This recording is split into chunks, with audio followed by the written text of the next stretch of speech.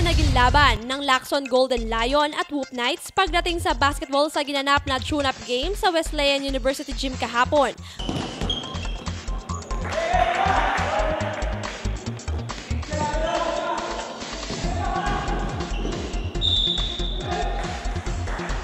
Kaugnay ito ng paghahanda sa magaganap na laban ng NECSL Season 3 on Nueva Ecija Collegiate Sports League sa darating na August 20, 2014.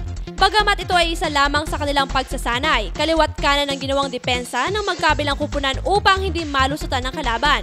Maganda ang ipinakita ng Lacson Golden Lion kung saan abot ang pakawala ng kanilang mga players ng sunod-sunod na pagpasok ng bola na naging dahilan ng kanilang pagkalamang sa first at second quarters.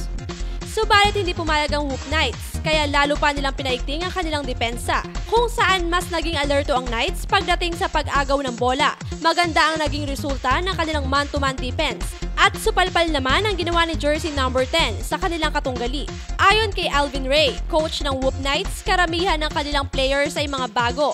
Kaya naman, ang bawat kilos o laro ng kanyang mga players ay kanyang pinag-aaralan upang matukoy kung sino-sino ang ipapasok sa lineup pagdating sa laban.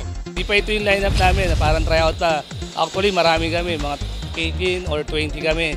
Kung sino yung magandang nilalaro, yung susunod sa, sa system namin, yun yung, yun yung ilaline up ko sa incoming league. At dahil sa matinding determinasyon ay nakabawi ang Knights pagdating sa third at fourth quarters.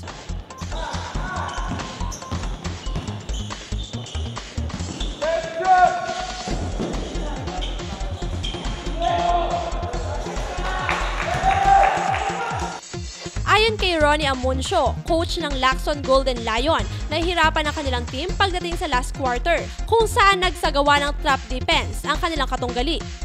nahirapan nag-step up yung mga players ko nung nag-trap defense sila. So siguro ah, kaunting adjustments pa kasi ah, yung ibang players ko, mga bago lang ibang players ko eh. So siguro ah, by next tune-up namin, actually ito yung first road trip na tune-up namin. At sa huli, nagwagi ang kupunan ng Whoop Knights sa score na 69-82. Para sa Balitang Unang Sigaw, ako po si Joyce Fuentes.